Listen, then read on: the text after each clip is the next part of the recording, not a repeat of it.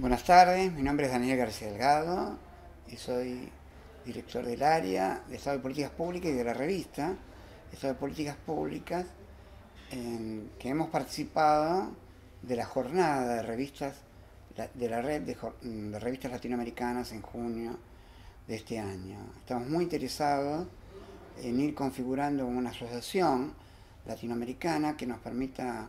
resolver juntos temas de indexación,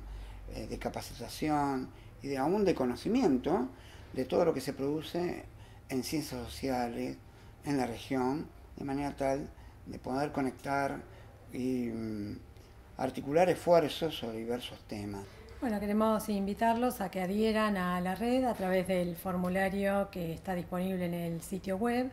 La idea es eh, compartir noticias y otros contenidos que nos ayuden a llevar adelante la gestión de nuestras revistas.